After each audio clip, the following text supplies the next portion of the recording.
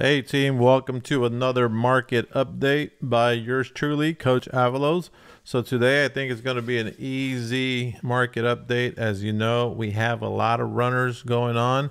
There's only one reason they're going up, and that's because they've crossed lines, and now we have a lot of gaps on the way up. So I'm going to show you a few areas where I think that you might be able to become profitable in the next three days. After that, I think we might see a swing down, but who knows, right? News might pump it up again. Uh, but anyways, here we go. So I've got Apple up on the screen, and you can see easily Apple um, has a really nice gap right in here. Okay, and they could see a run up to about 157, maybe 157.42.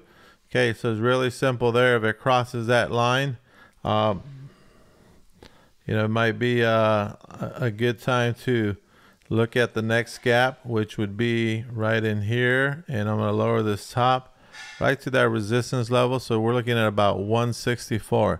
Now, let's go over to SPX, okay? And if you study charts, okay, um, what's going to happen here with SPX and SPY? SPY has the same chart. Look at that. So we have and I'll uh, draw this out for you. Um, we have uh, a few things to consider here because we have one resistance hit there. We got another resistance hit there. And that's number three. Okay. Now, what usually happens after the third time? If you look at charts, okay, potentially it could break through or it could come up, bounce down again, then bounce from here, and then come up. So keep an eye out on SPY and SPX. This is really interesting because this is when we start popping out. If you go look at your bear flags, bear pennants, bull flags and bull pennants, go look at your charts and you'll see that this is really going to make a move. Now, for now, it has a little bit of room to run up. So we could see 410 on SPY coming up soon. And we could see 4100 with um, SPX. So SPX, just like uh, Apple, has a nice little gap in here. Okay. If we come across, you'll see the next resistance level. It's about 4113, maybe 4112. So keep an eye out on that. If you're in the bull ring and you watch all our comments, we have entries for this tomorrow, and I'll post some more in the bull ring. But if you're interested, I'm gonna leave you guys a link below, and you guys can come try it out for free for seven days. Okay, so again, appreciate you guys subscribing. I love it. Uh, thank you very much because the subscription has gone up almost double in the last 20 days. So appreciate you guys a lot. Uh, okay, so we have some runners going on here we talked about Apple. Now we have uh, Amazon. So one of the things I've done with Amazon, and I'll show you, but we'll have more in the bull ring if you guys are interested. Um, I've already added, and you can see here, my buy stop. I've already added orders. So when the market opens up and it starts running up, which I think it will, I've already added an order so that it could buy for me. And then a quick take profit because you can see my take profit is right above that buy stop okay? Now I could easily do this and just take the buy stop up here okay?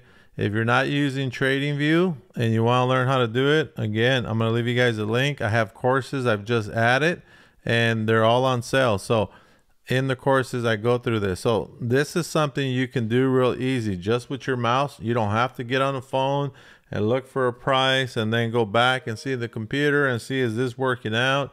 Uh, did it go up right? It's a lot of stuff that can get you out of your price target and potentially red. So I have this down here and I'm gonna leave it there but that's what I'm doing. Uh, same thing with a few other stocks. So let's say for Tesla Tesla's moving up.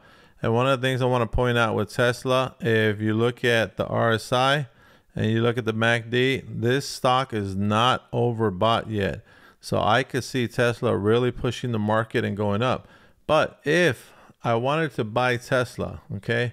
Here's what I recommend you guys do is just come over and just mark off the last known resistance. So let's say it's 196.45. Okay. And if I was to buy Tesla and I see this gap here, okay, I'm to place an order probably about 197. Okay. Because if, if Tesla, right around in there. So if Tesla was to run up, I don't want to buy it in here. I want to buy it on top of that because that's where there's no more sellers and I want that, right? So it makes it easier. And of course, you want to add a stop loss.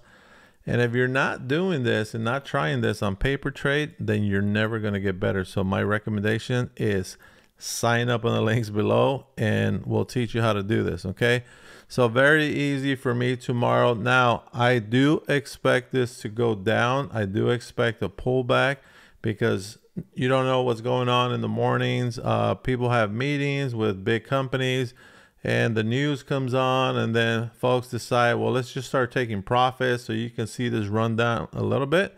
But remember, it's going to bounce because everybody's playing these gaps.